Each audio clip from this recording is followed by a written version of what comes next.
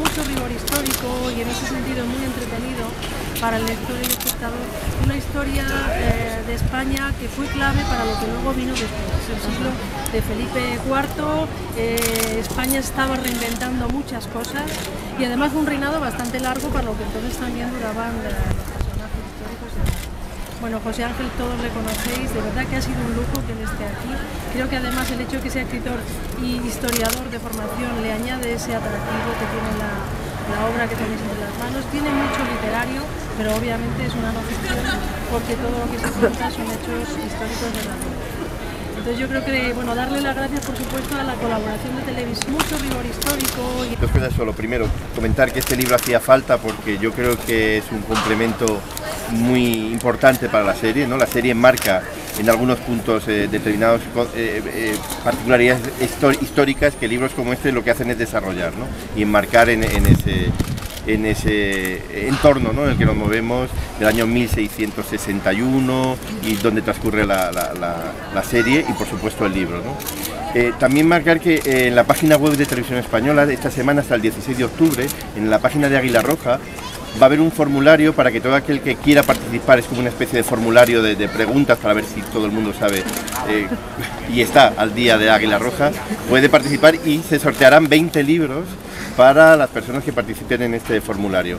Eh, comentar que, bueno, eh, no he leído el libro, tengo que confesarlo que todavía no leí, pero estamos metidos en los guiones de la octava temporada de Águila Roja y que, y que seguro que este libro es muy recomendable y sobre todo un complemento absolutamente necesario para entender la época y, la serie. Este libro, ¿por qué eh, hacer un libro sobre el siglo XVII español cuando ya hay muchos y por qué asociarlo a Águila Roja? Eh, hace un año iba de camino a una reunión con María Penedo, que es la jefa de comunicación de Globomedia, y me llamó un compañero guionista. Me dice, Pilar, me ha pasado una cosa que, la verdad es que me ha emocionado bastante. Cuéntamelo. Estaba imprimiendo unos guiones de Águila Roja en una pequeña empresa de reproducción y se me acerca un señor. Perdón, ¿usted trabaja en esta serie? Dice, sí, sí, sí, soy guionista. Dice, pues enhorabuena, de verdad que disfruto muchísimo con la serie. Claro, pues, mi compañero, pues qué bien, pues de verdad que me alegro. Y al rato el hombre no sabía muy bien cómo seguir, se quedaba mirándole y le dice, y, y gracias. No, hombre, gracias a usted, gracias por ver la serie. Dice, no, no, gracias porque mi mujer, desde que ve la serie, eh, se ha vuelto más activa, eh, busca las cosas, no, activa en el otro momento. Bien, también, me alegro también, sí sirve para eso. Dice, se ha vuelto más activa. Ella se sienta a ver la serie con una libreta y un bolígrafo, lo apunta todo y luego durante la semana lo busca. De hecho, se ha apuntado hasta la biblioteca. Total, que imaginaos que yo llegué a la reunión con María Penedo como si me hubieran dado el mejor de mil dos premios, estaba como ya había encontrado el sentido a mi trabajo. Y entonces María me dice, hay que escribir un libro. Digo, ¿pero cómo un libro de esto? Dice, no, no, un libro del siglo XVII que tenga ese espíritu, que sea entre... Disfrute para cualquier lector, sea amante o no de la serie, porque aquí se aúna el rigor histórico y de qué manera con el espíritu aventurero de, los personajes de Águila Roja y los has, los has retratado fantásticamente en un sentido muy osatur, eh, en lo que a mí me corresponde, creo que me he sentido muy, muy, bien, muy bien plasmado en, en las líneas de la novela. Y repito, tanto para amantes de la serie como creo que es una lectura obligada porque es muy, muy entretenida. Pues nada, yo quiero dar las gracias a la editorial Planeta, a Globomedia, a Televisión Española, eh, a, por haber confiado en mí para este proyecto, a José Aguilera, a Fernando López Ruiz, a Pilar Nadal y a, y a Javier Gutiérrez por sus palabras, honores de presentación y como por último eh, las noticias que nos a poner pues, a todos vosotros por haberos acercado a, a escucharnos. Entonces, lo que vamos a hacer ahora, vamos a hacer un mini tour por algunos escenarios históricos que aparecen en el libro, pero antes sí que me gustaría pues, explicar cómo os he dicho, ¿vale? Un poquito Pilar, pues habiéndose dado cuenta de que había un interés palpable por parte de los telespectadores en el contexto histórico en el que se ambienta la serie, y que sería bonito pues, hacer un libro de divulgación histórica que involucrara de alguna manera a los personajes. Entonces, alguien se había leído eh, en, su, en, en su momento mi anterior ensayo, La literatura aplicada a Sarnos, que era un ensayo de divulgación eh, literaria en el que le, doy bastante espacio al, siglo XVII, entonces consideraron que yo podía ser un um, autor adecuado, se pusieron en contacto conmigo, a mí me pareció un reto de lo más curioso, lo comenté en Planeta donde me gustó mucho la historia y muy rápidamente pues empezamos a, reunirnos y eh, enseguida consensuamos pues, una serie de apartados temáticos que hablando del siglo XVII pues tenían que aparecer sí o sí la corrupción eh, política del imperio, el rol de las mujeres en la época, eh, el funcionamiento y la composición pues, de, los, ejércitos, de los tercios en tiempos de, los Austrias, la picaresca española y a cada uno de esos apartados pues le adjudicamos un personaje para hablar de corrupción política que correspondía al, comisario, eh, el, rol de las mujeres en aquella época, que eso teníamos o, bien a Margarita o bien a Marquesa de Santillana, el asunto de las armas y, em, los ejércitos, pues eso parecía que le venía bien a Gonzalo y la picaresca era por supuesto el voto privado aquí de, Saturno García. ¿eh? Em, y, bueno, ese momento fue ya cuando me tocó a mí pues darle cuerpo literario a esas ideas y cuando empezaron las complicaciones. Porque mientras que resultaba razonablemente sencillo escribir un libro eh, de divulgación histórica clásica sobre el siglo XVII, mientras que resultaba razonablemente sencillo pues, escribir un libro, pongamos un reportaje sobre el fenómeno Águila Roja, pues sin embargo a mí me parecía extremadamente complejo pues, escribir eh, un libro de divulgación histórica eh, partiendo de la serie, teniendo en cuenta que no queríamos que fuera un ensayo clásico por una parte y que tampoco podía ser una ficción, porque la premisa del proyecto era que yo no debía de construir argumentos que pudieran interferir con la serie, entonces a mí aquello me parecía la, cuadratura del círculo, eh, y, de hecho estuve ya casi a punto de tirar la, toalla y en el último momento tuve una, una visión, no, la Virgen, porque no esperaba, pero vi a, pues a Don Quijote y a Sancho Panza por los caminos de la Mancha y compensando pues, todo lo, humano divino y por esta, esta alquimia eh, analogía que tenemos todos en la cabeza, pues aquella pareja se transformó en, Gonzalo de Montalvo y, eh, Saturno. Entonces, eh, digamos que me di cuenta de que el molde que yo necesitaba era eh, un diálogo dialéctico, tiene una tradición milenaria de los tiempos de diálogos socráticos y más, hasta, hasta nuestros días aquello me permitía efectivamente pues, hacer un ensayo que no fuera un ensayo clásico y al mismo tiempo lo más importante era involucrar a los personajes eh, de la sella Águila Roja eh, de tal manera que, que ellos pues, a, varias voces de una manera pues, polifónica, sinfónica, pues reflexionaran sobre los principales eh, problemas de la época. Entonces una vez fijara la forma, ellos sabían que, el libro iba a pivotar en torno a tres ejes, que en primer lugar estaba la, geografía madrileña, ya sabéis que Madrid nace como capital pues, en tiempos a finales del siglo XVI con un capricho de Felipe II eh, que decide eh, gusta el Escorial, entonces pues, la corte tiene que ubicarla pues, en, la ciudad más cercana, esa resulta ser Madrid, que pasa en ese momento de ser una ciudad segundona a una capital, un imperio, un imperio eh, decadente y nada, un imperio a fin de cuentas, entonces eso hace que el siglo XVII es, el, siglo más importante en la historia de Madrid, es un momento en el que se quintuplica la, población, se multiplica por 10 el espacio y yo siendo muy madrileñista en mis otras novelas, pues me apetecía eh, explorar la geografía de este periodo. Por otra parte también estaba la, vida cotidiana, sabíamos que al lector eh, le iba a interesar mucho pues, saber qué es lo que come la gente, cómo se viste, eh, qué, a, qué dedica las horas de, su jornada.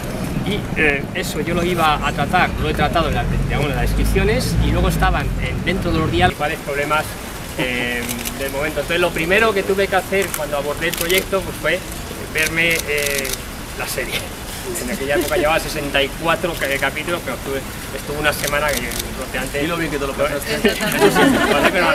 pero son muchas horas. y está, entonces, eh, eh, digamos que lo que está, nosotros está, mucha atención a, las pinceladas históricas que se iban dando, ¿vale? Y la primera cosa, el primer detalle que me saltó a la vista fue que se decían que los personajes vivían en el barrio de San Felipe. Entonces, en Madrid del siglo XVII, San Felipe solo se puede referir al monasterio de San Felipe el Real, que estaba más o menos por donde está esta manzana de, edificios. ¿no? Entonces, eh, si os fijáis en el plató eh, que, han, creado la, televisión para la serie, es un plató eh, muy donde hay mucha actividad comercial, tiene unos aires un poquito más medievalescos de lo que tendría en la realidad, pero sí que la referencia es muy adecuada porque en todo lo que es los entornos de la, de la Plaza Mayor pues había una tremenda actividad eh, artesanal, propiciada por la demanda de la, de la corte y es una actividad de la que pues, la onomástica era guarda recuerdos. ¿eh? Ahí está, por la calle de Cuchilleros, donde están los cuchilleros, el arco de los cofraderos, donde están los cofraderos, la calle de la sal, ahí se comerciaba con la sal y en esta zona, eh, pues, era, en aquella época como hoy, pues estaba especializado en, en tejidos. ¿Vale? Entonces, por ejemplo, si cogéis al, personaje de Jacobo en la quinta temporada, ¿vale? Esa hermosa balona que tiene, es que la balona, la balona fue eh, el cuello que se puso de moda, lo puso de moda Felipe IV, ¿vale? Hasta el cuello clásico del traje español era la goya, la bolilla en el siglo XVI. En el siglo XVII pasamos a la, a la balona, entonces este señor, para comprarse esa balona seguramente tendría que venir aquí. Si se le erró, si por lo que sea tiene un problema tiene que, eh, hay que coserla, pues también se vendría aquí. Entonces, con respecto a el monasterio de San Felipe eh, era eh, otro de los lugares más emblemáticos de, de Madrid de aquella época. Eh, era, en sí el edificio era muy curioso porque si fijáis hay un desnivel muy importante entre aquí y la, y la Puerta del Sol. ¿vale? Entonces el, monasterio bordeaba longitudinalmente la calle Mayor. Entonces eso hacía que para que estuviera nivelado, pues por otro lado quedaban los cimientos a la vista. ¿vale? Y eso lo habían, lo, lo habían hermoseado un poco metiendo unas covachuelas donde se había vendían guitarrillas, eh, chuches, estas cosas y sobre todo, muy importante, la, la, la entrada estaba mirando hacia, hacia Palacio, ¿vale? Pues había unas, por el nivel, había unas eh, escaleras que subían hasta esa entrada, eran las famosas gradas de San Felipe que también daban acceso a lo que era eh, pues un, un, paseo, una lonja, ¿vale?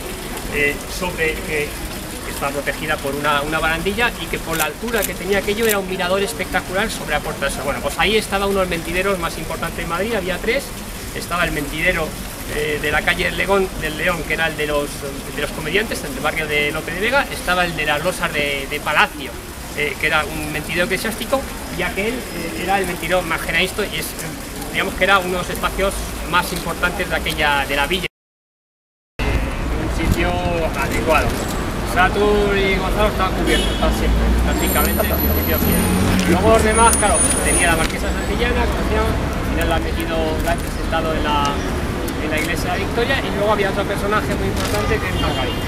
Margarita y yo, había que meter ahí, Margarita, que es el sitio, final hay que la calle Mayor. La calle Mayor era, por supuesto, la calle más importante de, aquella época, vaya, la calle comercial por excelencia, de la cultura, era donde estaban las pollerías, las platerías, los sastres eh, de nivel, y era por donde salían las, las ramas cortesanas eh, a, a, decían hacer la rúa, que era su paseo vespertino, que era la primera parte, el primer tramo era la calle Mayor, que era el, el río, y aquel paseo terminaba en el, en el paseo del Prado, entre las alamedas y las fuentes, y era el lugar más de. Entonces hay que saber que la mujer eh, en el siglo XVII, la mujer española,